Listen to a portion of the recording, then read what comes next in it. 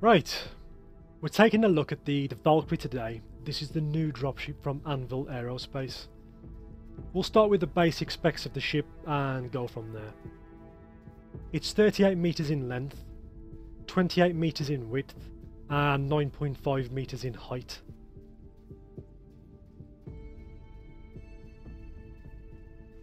It has an operating crew of 5, but as this is a dropship, it does seat an additional 20 troops for battlefield deployment, which we'll be able to see once we step inside.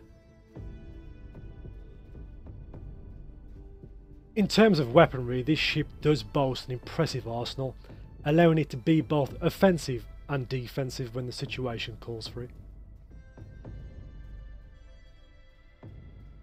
It's got two man turrets on the top and bottom of the ship, two remote turrets on its wings, two forward facing guns under the cockpit, and lastly it's got door guns on both sides, which again we'll take a look at once we're inside.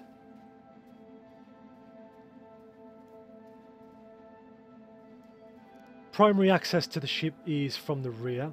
As you can see it has a wide ramp that drops down allowing for rapid deployment of troops and any vehicle on board at the time. In terms of internal specs, this ship has medium components across the board, so medium radar, medium power plant, medium coolers, etc. Here we have ladder access to the upper crew deck. Here is the side door which opens up and allows you to provide suppressive fire from the door guns. Same goes for the other side.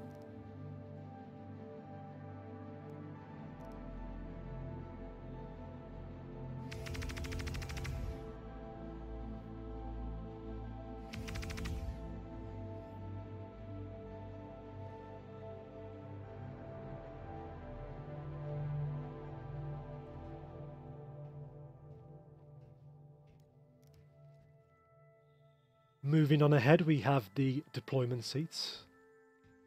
10 this side and another 10 next door. Carrying on to the front, this is where you access the front underside turret.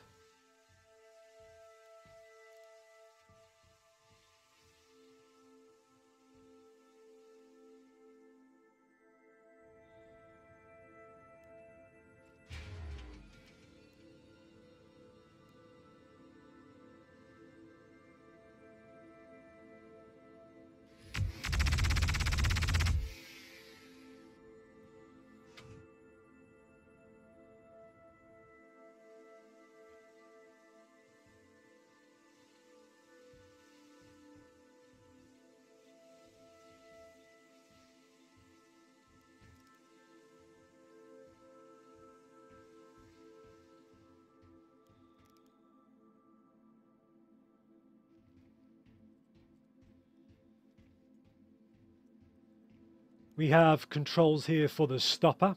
That raises up when you want to load on vehicles. It just ensures that you leave enough room for the crew and troops to operate.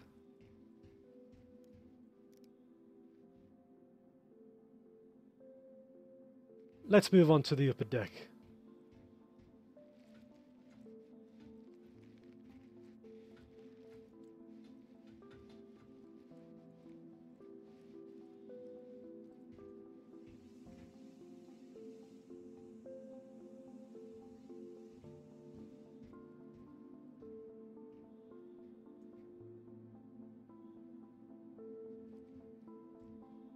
Here we have access to the topside turret.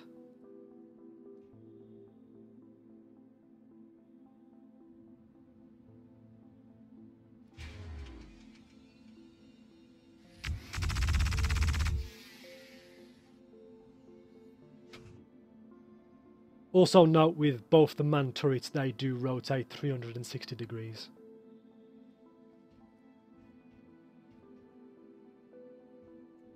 And as you can also see, here's where the bunks are for the five crew, along with their shower and toilet facilities.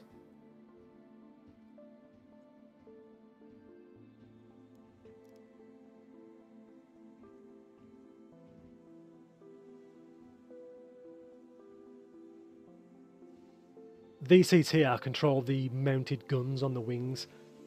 I do love remote turrets because it allows you to deliver raw firepower whilst being protected from a station like this.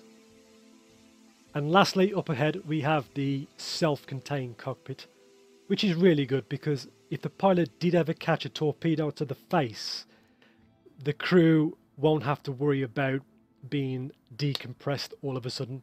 Those sealed doors will allow extra time for the, the crew just to get an EVA suit on and go from there.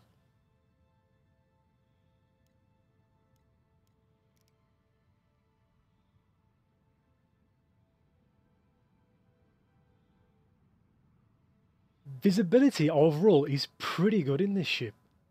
It's also got this lower window down here which just helps the pilot assess the terrain below.